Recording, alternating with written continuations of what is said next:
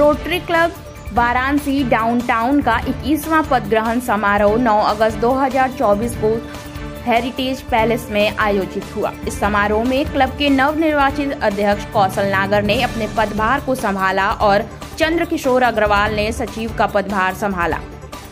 घनश्याम दास गुजराती को टेजरार का कार्यभार सौंपा गया है। इस कार्यक्रम के मुख्य अतिथि डिस्ट्रिक्ट 3120 के मंडला अध्यक्ष डॉक्टर रोटेरियन आशुतोष अग्रवाल रहे। उन्होंने दीप प्रज्वलित कर कार्यक्रम की शुरुआत की। विशिष्ट अतिथि सहमंडल अध्यक्ष अनिल जजोदिया रहे, जिन्होंने क्लब के सदस्यों को रोटरी की भूमिका एवं सेवा कार्यों के बारे में बताया। कार्यक्रम में सभी बोर्ड मेंबर्स का परिचय कराया गया एवं इस वर्ष जुड़े सभी नए सदस्यों को वेलकम किट देकर एवं दुपट्टा पहनाकर सम्मानित किया गया। देखिए हमारे संवाददाता ओम प्रकाश पटेल की रिपोर्ट। राकेश जायसवाल सचिव रामनगर औद्योगिक एसोसिएशन लहरतारा व्यापार मंडल के संरक्षक। आज यहाँ रोटरी क्लब का जो प्रोग्राम हो रहा है शपथ ग्रहण आज heritage palace Chaukagarh street twenty first इनका इंस्टॉलेशन हो रहा है। जिसमें रोटरी क्लब डाउनटाउन के सभी पदाधिकारी सचिव अध्यक्ष सब लोग हैं। और इसमें क्या है कि जो समाज में काम इन्होंने किया इसको और आगे बढ़ाने के लिए लोग शपथ लेंगे नए नए मेंबर जुड़े हैं। और इसी तरह आगे बढ़ते रहें समाज का कार्य करें ये अच्छी बात है लोगों को जोड़ें अपने से। इसमें हम भी जुड़ रहे हैं। रोटरी क्लब वर्क क्या करती है? पूरी तरीके से क्या वर्क है? रोटरी क्लब एक अपना जो डाउन टाउन की संस्था है इससे जैसे कोई भी कार्य जैसे ब्लड डोनेट हुआ, सामाजिक कार्यों में पार्टिसिपेट करती रहती है, तमाम तरीके के। बहुत सारे ऐसे भी गरीब लोग हैं।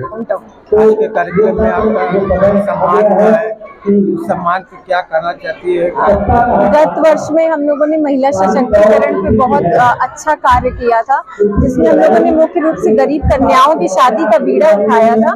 उसमें हम लोगों ने कम से कम सात या आठ ऐसी लड़कियों को चुना जिनके माता पिता नहीं है और जबकि सभी बहनों के सहयोग से बहुत ही सुंदर तरीके से उनका विवाह संपन्न कराया था। साथ ही साथ हम लोगों ने महिलाओं को जागरूक करने के लिए सेल्फ डिपेंड करने के लिए दो वर्कशॉप भी चलाई थी, जिसमें एक वर्कशॉप थी मेकअप आर्टिस्ट की और एक उनको फाइनेंशियली अवेयर करना, जैसे जो इन्वेस्टमेंट उन्हें कैसे करना है। अभी तक क्या है कि मेल मेंबर के पास पूरी अथॉरिटी होती है। मेल मेंबर आ, पैसे सेव करते हैं कहाँ पैसा जमा करना है कितना इन्वेस्टमेंट करना है ये सारी जानकारी मेल के पास रहती है। लेकिन इस सेशन में हम लोगों ने कोशिश करी है कि महिला सशक्तिकरण पे हम बल दें ताकि सारी जानकारी उनके पास भी रहे।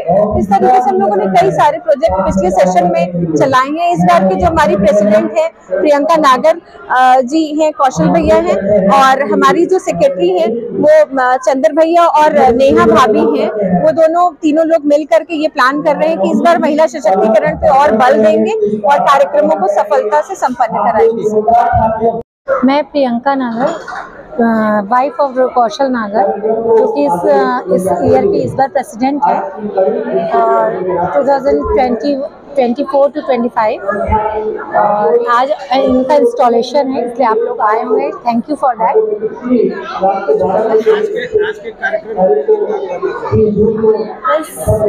अब हमारा ईयर शुरू हो रहा है। भगवान से यही मना रहे, अब स्मूथली ये ईयर चल रहा है।